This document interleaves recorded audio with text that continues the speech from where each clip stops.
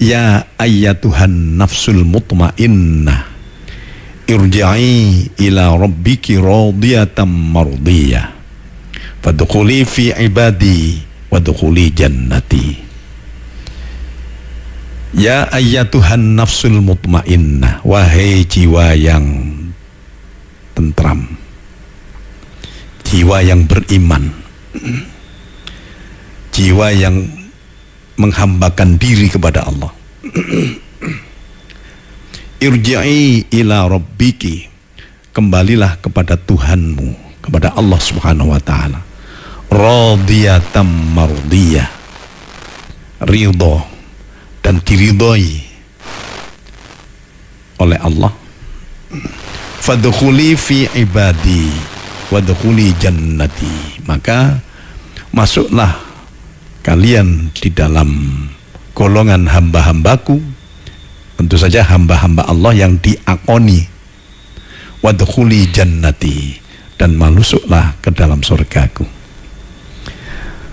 Hanya saja yang dimaksudkan dengan ibadah atau menghambakan diri kepada Allah itu itu ada dua.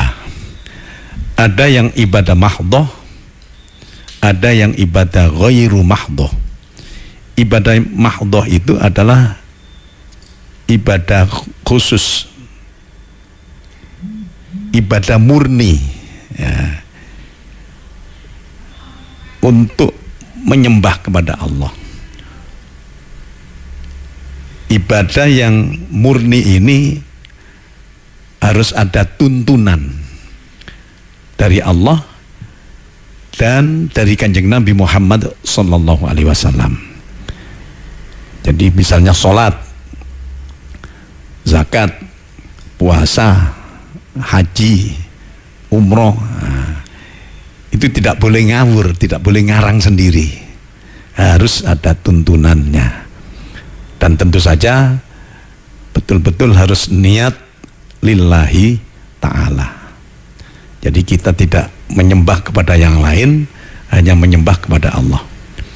Kemudian yang kedua ibadah ghairu mahdoh yaitu semua kehidupan kita yang baik yang halal bahkan yang wajib yang tentu saja kita hubungkan niat kita semuanya mencari ridho Allah Subhanahu wa taala maka secara garis besar bahwa hidup agar sesuai dengan apa yang dikehendaki oleh Allah yaitu berhablum minallah dan berhablum minan nas. Berhubungan yang baik kepada Allah di samping bertauhid dan beribadah seperti tadi mahdoh bahkan juga seperti dikir dan sebagainya. Tapi harus baik terhadap sesama manusia terutama. Hablum minallah wa hablum minan nas. Nah, siapa pun namanya manusia terutama terhadap sesama mukmin. Bahkan terhadap orang yang bukan mukmin pun kita tetap berusaha untuk ber, ber, berbuat baik. Tapi yang paling utama hablum minan nas kita itu adalah berbakti atau berbuat baik kepada kedua orang tua. Jadi hablum minan nas yang paling utama adalah berbakti kepada Allah dan berbakti kepada ibu kita. Eh, berbakti kepada orang tua kita, baik bapak ataupun ibu kita. Tapi kita juga tidak melupakan tetap berbuat baik kepada sesama manusia terutama. Bahkan dengan lingkungan pun kita harus berbuat baik. Nah kalau kita sudah berbuat baik kepada kedua orang tua dan kepada lingkungan kita dan kepada semua manusia ya tentu saja ini hal-hal yang memang diperintah oleh Allah diniatkan dengan lillahi ta'ala. Itu sudah merupakan ibadah. Walaupun hubungan kemanusiaan ini ibadahnya bukan ibadah mahdoh bukan ibadah apa tadi? Murni tapi ibadah ghairu mahdoh ibadah yang tidak murni. Yang penting baik yang penting halal yang penting benar. Hatinya ya betul-betul bukan karena apa-apa tetapi karena Allah. Karena untuk mencari ridho Allah. Termasuk pekerja itu ya kan? Nah khusus untuk ini apa berbuat baik kepada sesam uh, kepada ibu bapak atau kepada orang tua coba dibaca lagi surat ini tadi. Surat Al-Isra ayat 23 dan 24 wa qadha rabbuka alla ta'budu illa iyyahu wa bil walidaini ihsana wa qadha rabbuka alla ta'budu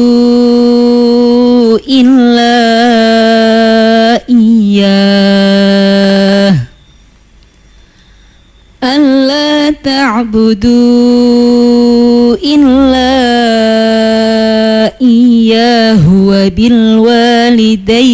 إحسانا. إما يبلغن عندك الكبر أحدهما أو كلاهما أو كلاهما فلا تكن لهما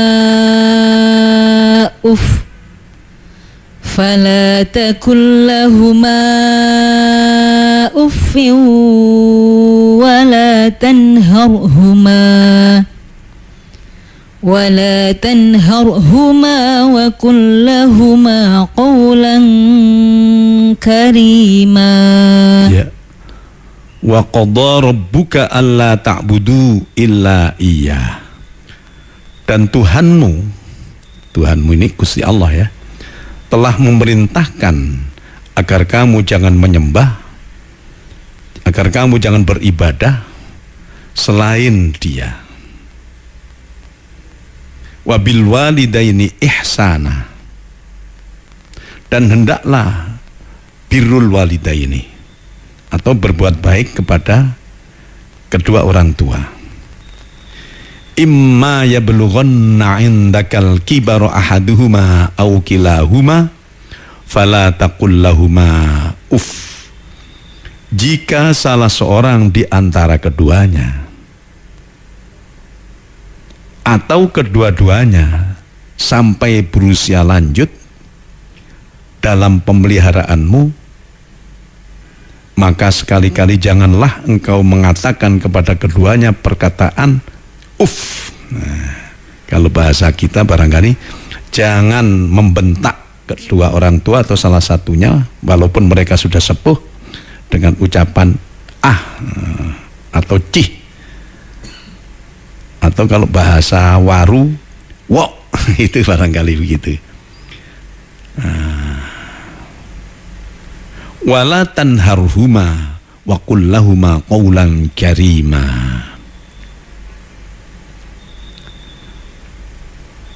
Dan janganlah engkau membentak keduanya dan ucapkanlah kepada keduanya perkataan yang baik jadi kita wajib birrul walidah ini berbuat baik kepada kedua orang tua itu bukan hanya ketika kita masih anak-anak sampai mereka sudah sepuh pun walaupun mereka sudah nganggur sudah sakit-sakitan terutama itu saja ucapan kita terhadap mereka harus ucapan yang baik.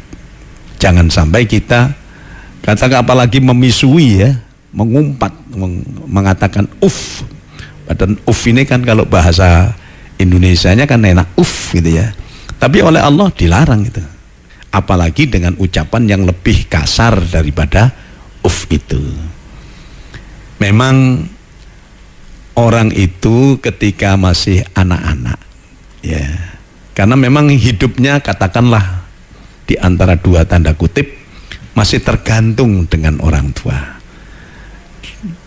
dikasih makan, dibelikan baju, ditempatkan apa tempat yang yang baik, yang enak. Kalau sakit diobatkan, sekolah disekolahkan, mondok dimondokkan. Demikian juga sampai besar ganti anaknya lah yang apa bisa mendapatkan apa nafkah yang banyak. Mungkin jadi pegawai, mungkin jadi pejabat atau mungkin jadi orang kaya dan lain-lain. Sementara orang tuanya, ayah dan ibunya itu biasanya sudah sepuh ya, sudah di atas 60 tahun. Sudah di atas 70 tahun Bahkan ada di antara mereka yang sakit-sakitan. Ada yang sudah tidak punya pekerjaan lagi karena memang sepuhnya. Nah, sampai dalam keadaan seperti itu pun anak itu wajib untuk tetap berbuat baik di antaranya jangan sampai menyakiti hati orang tua apakah dengan ucapan apakah dengan perbuatan dan lain sebagainya Diteruskan ayat 24 dulu dibaca. واخفض لهما جناح الذل من الرحمة وقل رب ارحمهما وقل رب ارحمهما كما ربياني صغيرا Nah ini Wakhfid lahuma janahad dhulli minar rahmah dan rendahkanlah dirimu terhadap keduanya dengan penuh kasih sayang. Wa qur rabbirhamhuma kama rabbayani shaghira. Dan ucapkanlah doa ya. Rabbirhamhuma. Wahai Tuhanku, sayangilah keduanya kama rabbayani shaghira sebagaimana mereka berdua telah mendidik aku pada waktu kecil sebagaimana mereka telah menyayangiku pada waktu kecil itu biasanya kalau sekarang menjadi doa Rabbil firli wali walidayya warhamhuma kama rabbayani shaghira atau Allah maghfirli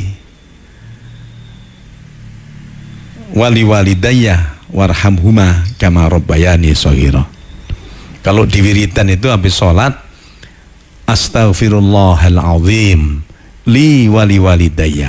Nah biasanya kita teruskan Wali ashabil hukukil wajibati alayya Wali jamil muslimin wal muslimat Wal mu'minina wal mu'minat Al ahya'i minhum wal amwat Atau dengan ucapan doa Rabbana gfirli wali walidayya walil mu'minina yauma yaqumul hisab. Nah, itu. Atau seperti doanya itu Nabi Lut. Nah, Rabbil firli wali walidayya waliman dakhala baitiya mu'minan walil mu'minina wal mu'minat. Nah, itu ya, itu kalau bisa itu dari Al-Qur'an itu bagus sekali itu. Tapi kalau kita tidak bisa bahasa Al-Quran, ya bisanya, ya Allah, mungkin jenengan paring pangapura dumateng kula lan pangapura dumateng bapak ibu kula lan nyuwun Gusti supados jenengan paringi rahmat jenengan berikan kasih sayang kados bapak ibu kula biyen didik lan memberikan kasih sayang terhadap kula. Itu. Ya walaupun kita singkat ya Allah mugi-mugi ibu kulo bapak kulo jangan sepura Gusti. Ngoten mawon? Seperti itu Allah. Sudah ini ya. Sudah apa namanya itu? Sudah mengampuni lah nah itu ya, sudah mengampuni artinya apa? Hubungan antara kita dengan sesama manusia terhadap yang lain-lain pun kita harus baik tapi terutama terhadap kedua orang tua kita. Karena kalau kita ternyata apa? Kita katakan kalau bahasa Jawanya itu wani durhaka ya durhaka kepada mereka apakah salah satunya. Itu dosanya besar sekali. Dosanya besar sekali. Bisa-bisa yang mestinya pantas masuk surga karena ibadahnya banyak amalnya banyak tapi ada kendala yaitu tidak berbuat baik kepada kedua orang tua. Malah justru durhaka. Orang tua menjadi tidak rela. Naudzubillah min dalik itu di samping siksanya di akhirat berat itu masih di dunia saja sudah mendapatkan siksaan. Coba kita mojo solawat yang pakai ini. Apa namanya? Eh, bagaimana keberatnya seorang ibu? Silakan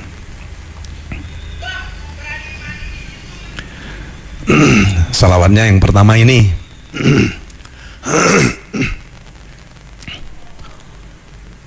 Salawat yang pertama Allahumma salli ala Muhammad. Allahumma salli ala Sayyidina Muhammad wa ala ali Sayyidina Muhammad. Salatullahi ma lahat kawakib ala Ahmad khairi ma rakiban najaib. Salatullahi ma lahat kawakib ala Ahmad khairi mar rakiban najaib.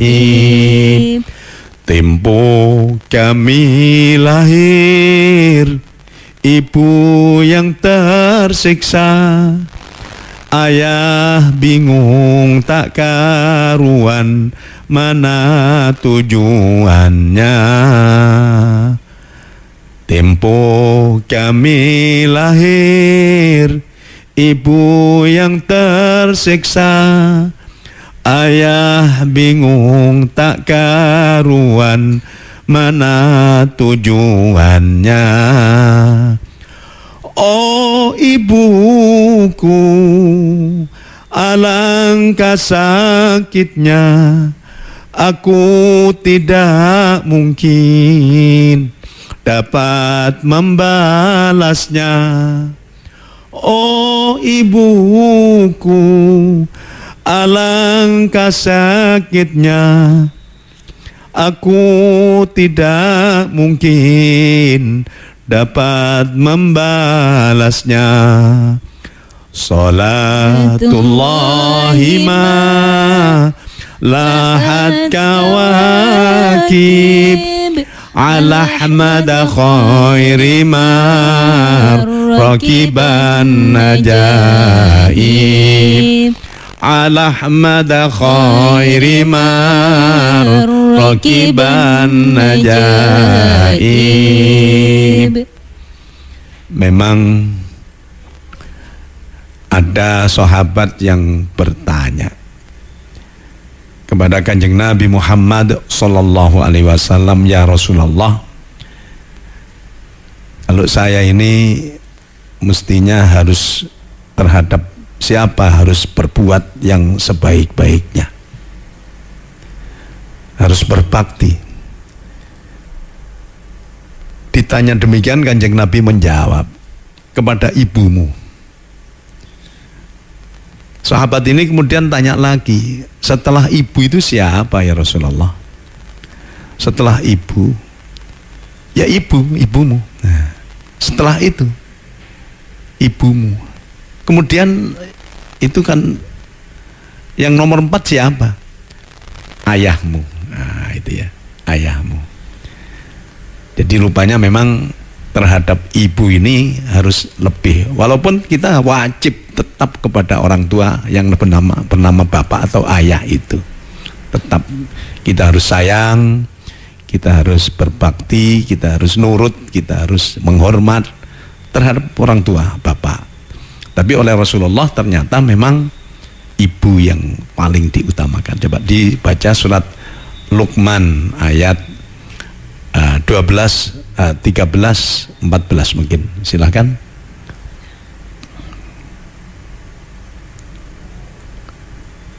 surat Luqman silakan أعوذ بالله من الشيطان الرجيم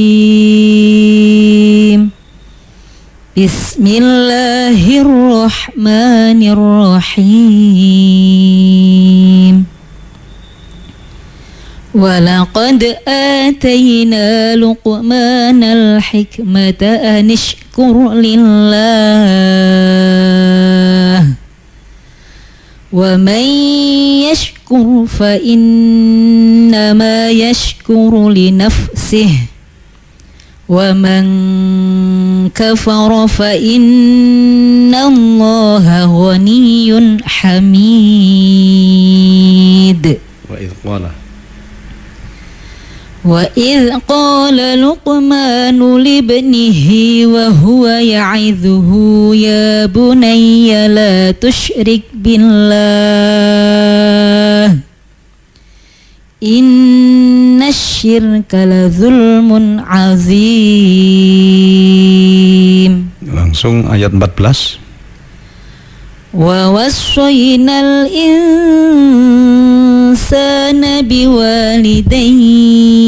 بوالديه حملته أمه وهنا على وهن وفصاله وهنا على وهن وفصاله في عامين أن اشكر لي. وفصاله في عامين أن اشكر لي ولوالديك. إلي المصير. Bismillahirrahmanirrahim Wasainal insana biwalidayh Dan kami perintahkan kepada manusia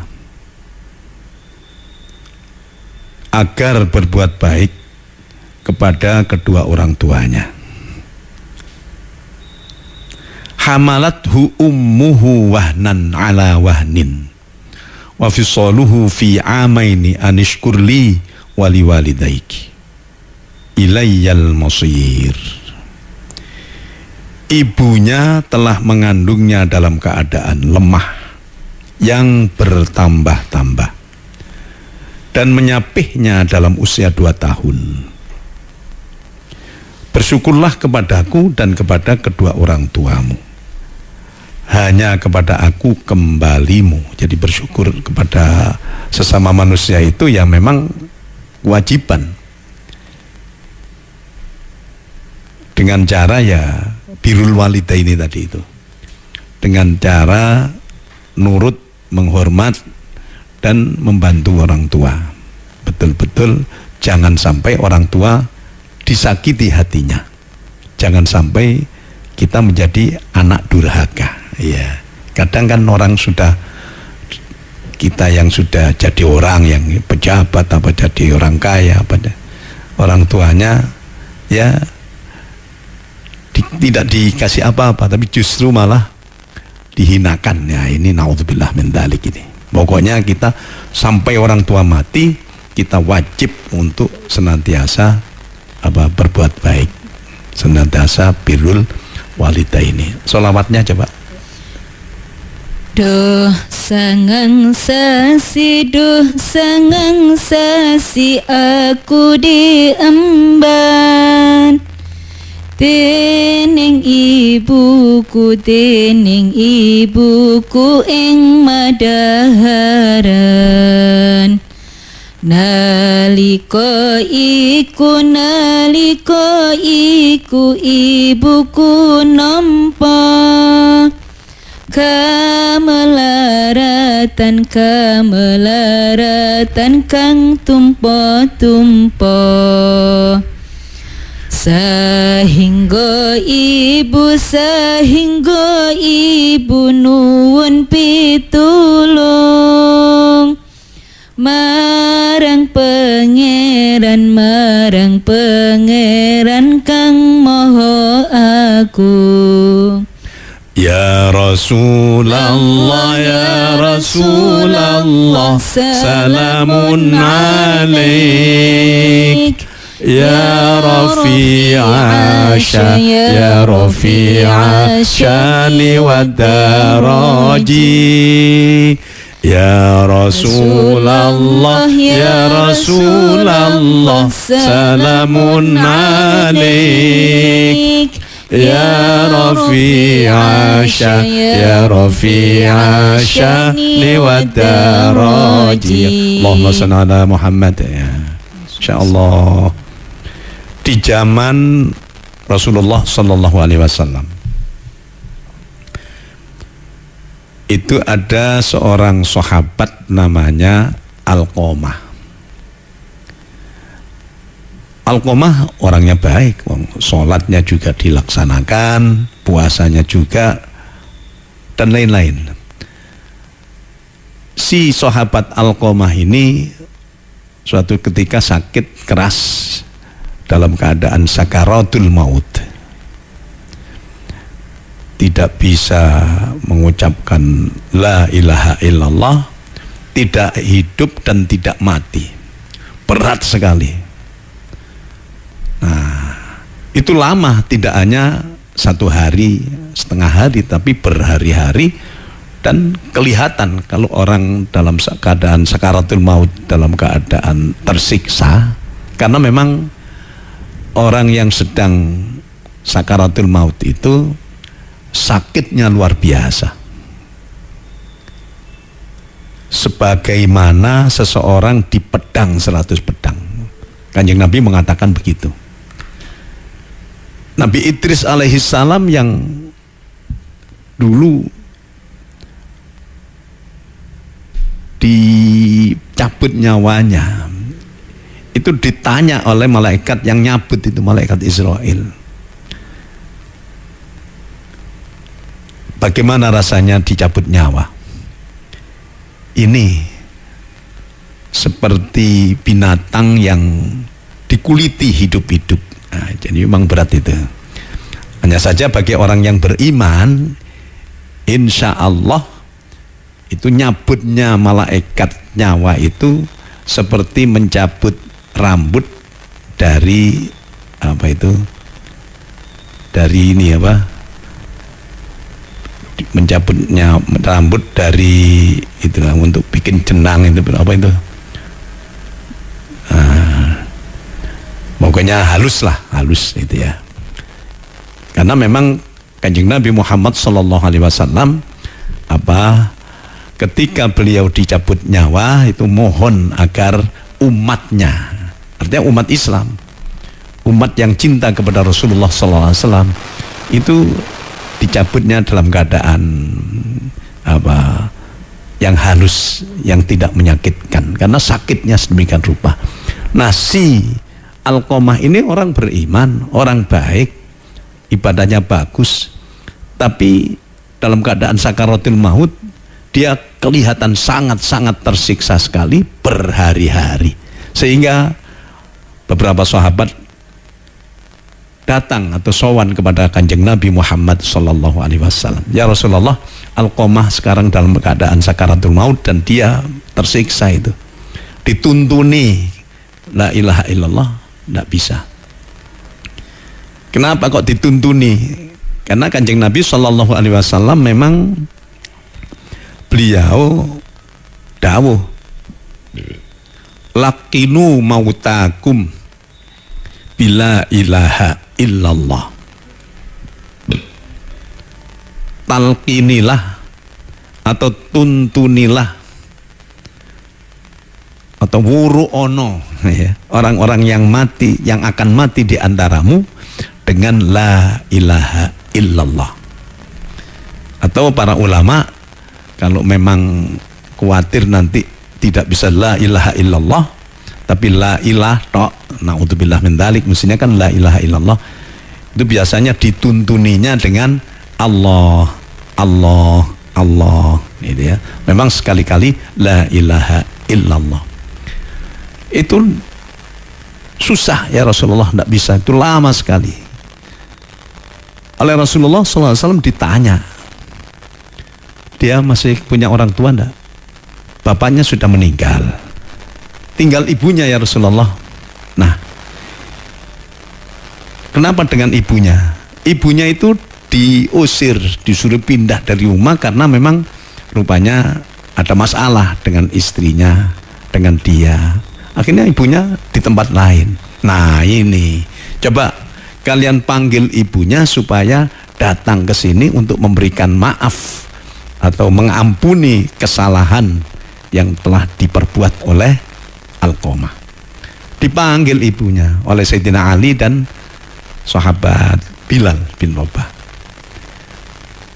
Ibu tidak mau, tidak mau saya masih sakit hati saya. Gitu ya. Padahal bu kasihan anak sama. Enggak, enggak mau.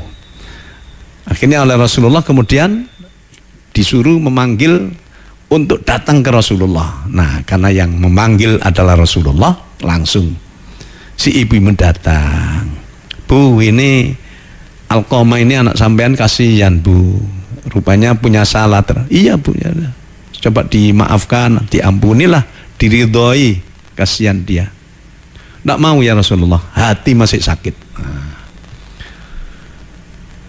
Oleh Rasulullah kemudian para sahabat diperintahkan untuk mencari kayu bakar sebanyak-banyaknya ditumpuk.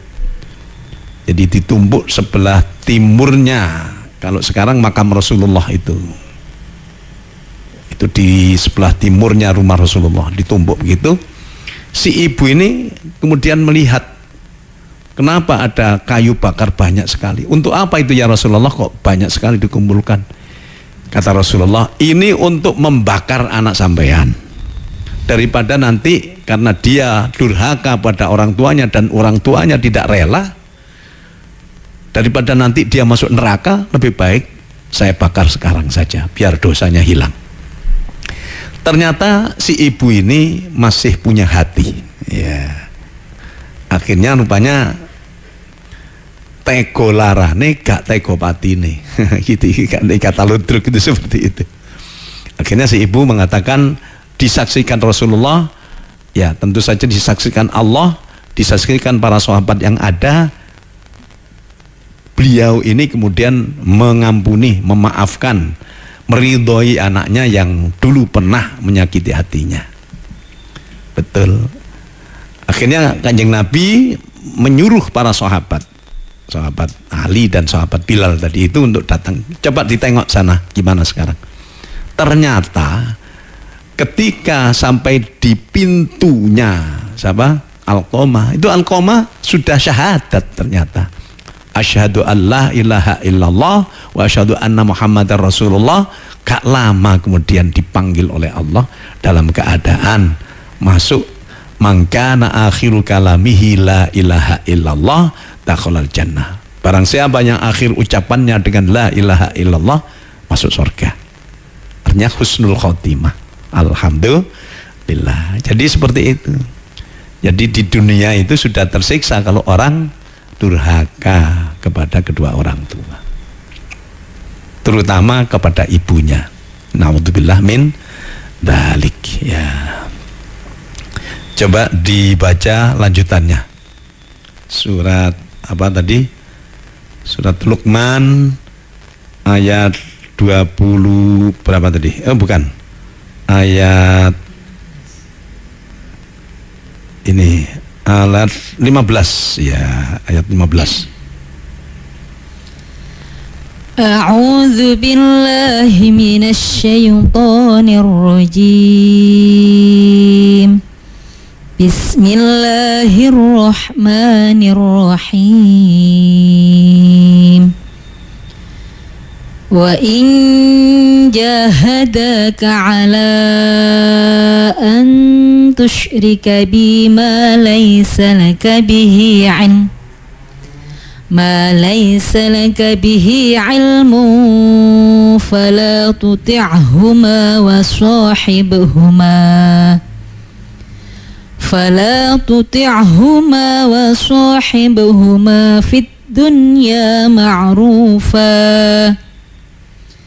في الدنيا معروفا واتبع سبيل من أناب إلي. ثم إلي مرجعكم فأنبئكم بما كنتم تعملون. وإن جاهداك على أن تشرك بما ليس لك به علم فلا تطئهما dan jika keduanya keduanya ini kedua orang tua memaksamu untuk menyekutukanku kata Allah dengan sesuatu yang engkau tidak mempunyai ilmu tentang itu maka janganlah engkau mentaati keduanya. Wa sahibuhuma fid dunya ma'rufa. Dan pergaulilah keduanya di dunia dengan baik wattabi sabila man anaba ilai. Dan ikutilah jalan orang yang kembali kepadaku. Thumma ilayya marji'ukum fa unabbi'ukum bima kuntum ta'malun. Kemudian hanya kepadaku, kepada Allah, tempat kembalimu, maka akan aku beritahukan kepadamu apa yang telah kamu kerjakan. Ada seorang sahabat, ada seorang sahabat, namanya uh, Mus'ab bin Umair radhiyallahu anhu. Sahabat Mus'ab bin Umair ini punya orang tua yang kaya, terutama ibunya itu sangat juga menyayangi kepada Mus'ab bin Umair. Jadi apa saja itu diberikan. Bahkan gadis-gadis di Mekah pada saat itu semuanya ingin mendapatkan atau dikawini oleh Mus'ab bin Umair karena di samping anaknya orang kaya dia ganteng sekali kalau jalan itu dari jauh orang sudah mendapatkan semerbak parfum yang memang dibandani sama ibunya. Nah, suatu ketika Mus'ab bin Umair ini yang tadinya seperti bapak ibunya seperti orang-orang kafir yang lain kafir. Kemudian ketika kanjeng Nabi Muhammad Wasallam dengan beberapa sahabat uh, bertempat di tempat yang terpencil yaitu di rumah Arkom bin Abil Arkom sembunyi-sembunyi Mus'ab ini masuk Islam. Nah, tiap saat juga datang, tapi dengan cara seakan-akan dia masih kafir. Lama-lama ternyata ketahuan oleh ibunya. Karena ada orang-orang tertentu yang menunjukkan bahwa sekarang Mus'ab melok Muhammad. Dia sudah Islam, sudah syahadat. Ya. Terus akhirnya oleh ibunya ya tentu saja perantaraan ininya ya begundal-begundalnya itu si Mus'ab ini ditangkap kemudian dipenjara di rumah. Nah, dipenjara di rumah sudah tidak dibagi diberikan fasilitas apa-apa sudah. Kalau kamu masih Islam kamu dihukum seperti ini. Tidak dapat fasilitas seperti kemarin-kemarin. Ternyata Mus'ab tenang saja, masih tetap saja. Nah, suatu ketika ternyata bisa keluar, tidak tahu bagaimana caranya. Dia merasa, ya ibunya ini kemudian begitu keluar, ternyata ibunya ini ngambek tidak makan tidak minum kalau kamu tidak kembali kepada agama lama Mus'ab aku tidak makan dan tidak minum selamanya. Nanti karena kalau aku karena tidak makan tidak minum disebabkan kamu tetap jadi orang Islam dan mati maka semua masyarakat Mekah akan mengutuk kamu. Nah, aku juga akan mengutuk kamu. Nah, itu ya. Akhirnya si sahabat Mus'ab bin Umar ini datang kepada Rasulullah Sallallahu Alaihi Wasallam. Ya Rasulullah kata ibu saya itu kalau saya tidak nurut kalau saya tidak kembali kafir nanti semua orang Mekah sini kalau ibu saya sampai mati karena dia mogok makan mogok minum sudah tiga hari sekarang tidak makan tidak minum. Gimana ya Rasulullah kalau saya nurut berarti saya nurut orang tua nah, karena Mus'ab itu sudah tahu bahwa orang itu harus nurut, harus apa tunduk, harus berbuat baik kepada kedua orang tua. Bagaimana ya Rasulullah? Ternyata turun ayat ini tadi ya. Coba ya, coba dilihat. Coba dibaca lagi. Wa in jahadaka ala an tusyrika bima laysa laka bihi ilm. Ala an tusyrika bi ma laysa laka bihi ilmu fala tuti'huma. Coba dibaca. Wa in jahadaka. Wa in jahadaka ala أن تشرك بي ما ليس لك به علم. على أن تشرك بي ما ليس لك به علم فلا تطعهما فلا تطعهما وصاحبهما في الدنيا معروفا واتقوا واتبع سبيل من أناب إليّ ثم إلي مرجعكم فأنبئكم بما كنتم تعملون ya jadi turun ayat ini wa in jahadaka ala an tusyrika bi ma laysa laka bihi ilmun fala tuti'huma dan jika keduanya memaksamu untuk menyekutukan aku dengan sesuatu yang engkau tidak mempunyai ilmu tentang itu, maka janganlah engkau mentaati keduanya. Wasohibuma fid dunya ma'rufah dan seterusnya. Dan pergaulilah keduanya di dunia dengan baik. Akhirnya Mus'ab bin Umar ini kemudian gak rame-rame sudah tetap saja jadi orang Islam. Dan ternyata ibunya kemudian tidak kuat ya. Dia akhirnya buko. Nggak kuat tiga hari itu tidak kuat tidak makan tidak minum. Ya mungkin karena orang kaya biasa makan untuk makan.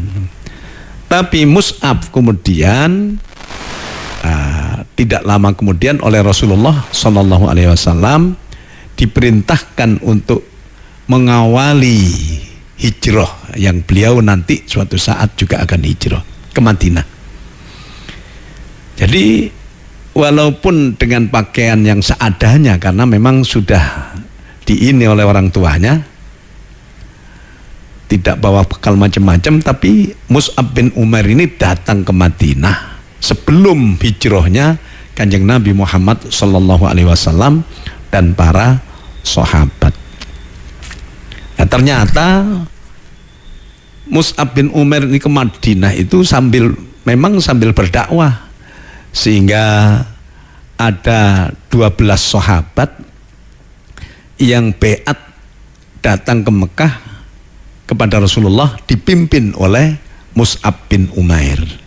Jadi beatnya para sahabat yang baru masuk Islam dari Madinah itu yaitu di tempat sekarang yaitu di daerah Mina.